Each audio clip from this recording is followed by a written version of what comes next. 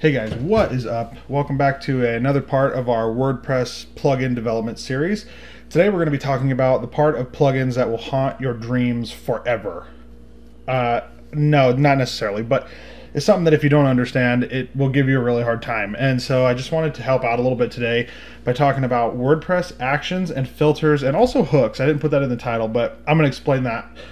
And what I'm going to try to do is explain this as clearly as possible because it's a really confusing topic for a lot of people because it seems really confusing, especially certain explanations you're given just don't you try to do the math in your head and it just doesn't add up. And I wanted to explain it because we're going to start working on this plugin soon. This uh, I think we're just gonna, like I said, put out put some text with it or something like that. I'm not really 100% sure yet exactly what direction I want to go with it and how complicated I want to make it. But let's just start right here on actions and filters. And this is my own explanation of this, and uh, hopefully it helps you out a little bit. So let's just start with the picture of a bus station. Once again, you're at the WordPress Intense School of Art, so don't get your hopes too high. All right, so this is your bus station, and WordPress is like a, a town. When the page loads, there are different destinations on the bus route, okay? And riders can get on those buses and they can go to the, any location that they're allowed to go. Like it's a set amount of stops, right? Like in the town, there's a stop at the hospital, there's a stop at the bank, there's a stop at, okay. In WordPress, we have different stops like the the WordPress head, the WordPress sidebar, the WordPress content, the WordPress footer, etc., etc. And there's lots of areas you can you can uh, send to. And imagine that the bus is a hook Okay, and that's that's what a WordPress hook is. A hook is kind of what calls in the code or allows, in our example, it's like what allows a rider to get to that location. And we have two kinds of riders in the bus station. We have action riders and we have filter riders. And each of them do something different. So let's say that the bus opened up the station at 5 a.m. and it was going to send out its first bus of the day. Let's draw a little bus. Yeehaw. Okay. And this bus, let's just draw some go faster stripes. All right, this bus is headed out to the first location. It stops at the bus station and it says, I'm taking all riders who are headed to the WordPress head stop. All right. And at this point, we have two different riders who both put their hands up and say, I'm ready, I'm getting on the bus. We have action riders and filter riders. And here's the difference action riders are going one way they're not coming back. They, they're going one way and they're not coming back to the station.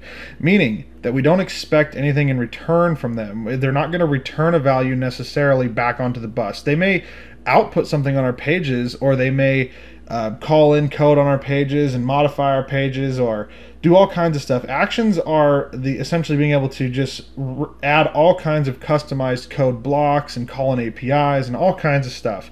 And those are, are those are the action writers. Then you have the filter writers, and the filter writers go out on the bus, but they're given a special task that they need to do and then come back with a result. So here's a perfect example. In the WP head, this is everything that appears between the head tags in a HTML output. So in the case of our front end of our site here, let me just go on to this localhost SEO local, and if you view the page source, you're going to see a head tag, an opening head tag, and a closing head tag. So this is where the head hook, or in our example, the bus, drives to this section and it carries with it any riders who want to do something in here who want to hook into this, and the bus being the hook.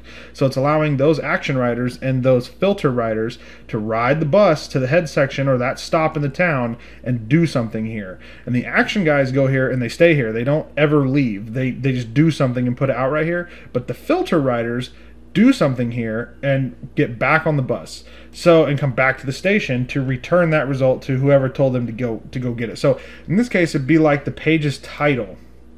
If you look at this, our page title appears SEO starter.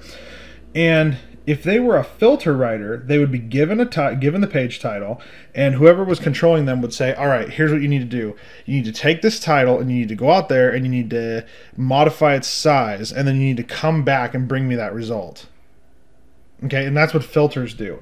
Filters modify data or modify existing components and then do something with them. And uh, they don't they're not as wild west as the action writers. The action writers pretty much are limitless. They can do whatever they want. But filters have to uh, uh, they have to modify something and bring us back a modification result and that's the primary difference between them so you'd have a bus in the morning just to reiterate that would stop and it would ask for riders and it would say i'm going to the wp head section of your wordpress site. Who's coming with me? Who needs to go to this stop? And you got two types of people. One is actions and one is filters. The filters guys are going to get back on the bus and come back with a result. The action guys are not. So actions are a one-way ticket and filters are a two-way ticket. And the bus is the hook that carries them to that section. And we have lots of hooks. So in the day you may have two or three or four or five buses all right that carry those riders forward. All right. And uh, and so you'd have more and more and more and more buses.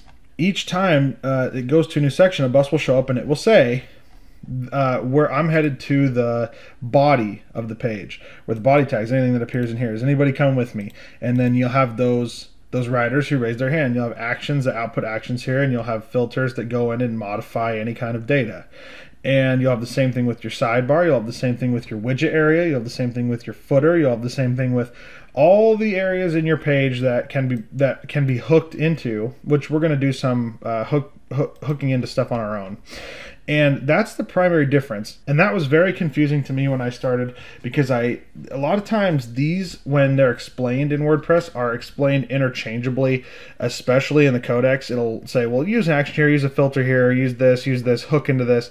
And it's not very clear why they're using this one versus this one or why even what a hook is. And so in this case we that i think that it, it, this is the clearest example i can give and it's the one that made me kind of see a little clearer. So that's how it, it calls in the code. And another thing to understand is that who can get on the bus? Well as far as where they can come from. Well the first place they can come from is from a file called functions.php this is in every WordPress installation, and functions.php allows you to write in your own custom functions without the use of a plugin or the need for a plugin to add any custom functionality to your WordPress and to hook into the buses that carry to those places. So if you need to add any custom features to the head, you can hook into the head, the bus going to the WP head section. If you need to uh, hook into the footer, you can hook into the footer bus that's headed to the to the footer and you can hook in any kind of actions or any kind of uh, filters you want to add in real time and then they'll just be called from the functions because that's what the bus station looks for. The bus station says okay i'm looking for i'm looking for riders. Where do the riders all come from? They come from the functions.php that's one place they come from. And the other place they come from is plugins.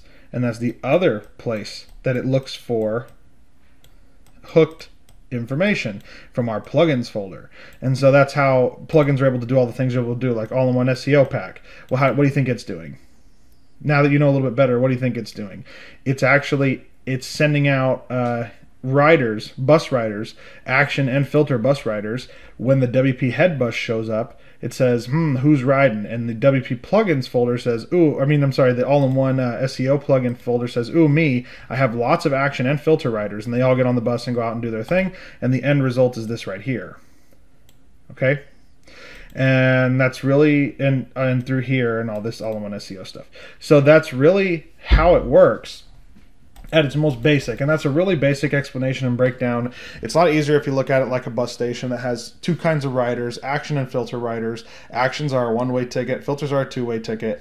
They all ride the bus that shows up at that time and different riders get on different buses based on what they're instructed to do uh, if they are if your plugin requires something to be edited in the body for example then that's where your actions and filters will get on is when the uh, body bus passes all your people will get on. And the way that we can do that is we can instruct it. So when we write our php functions that do this you can explicitly say, I want you to add this function to the WP head or the WP body or the WP footer.